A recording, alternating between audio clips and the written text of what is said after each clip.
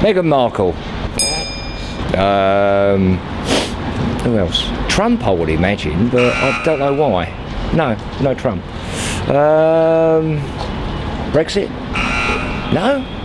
Um, Donald, Donald Trump's got to be an obvious guess, and He actually hasn't made it. that's really surprising and probably very disappointing for him, I should think.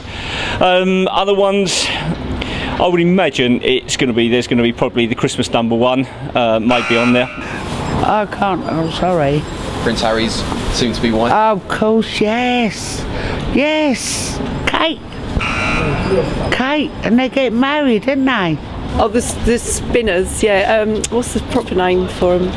Yeah, fiddle, uh, fiddle spinners, are they? It's something about Theresa May and cornfields or whatever it was. That's, that's got to have made it. That's got to have made it. I'm just trying to think of what else would have. Donald Trump. He's not actually in. Oh That's a wow. good guess though. Beyonce.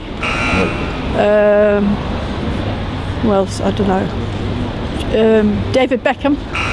No. Maybe something about Big Shaq. I don't know because obviously he was quite a big like personality this year.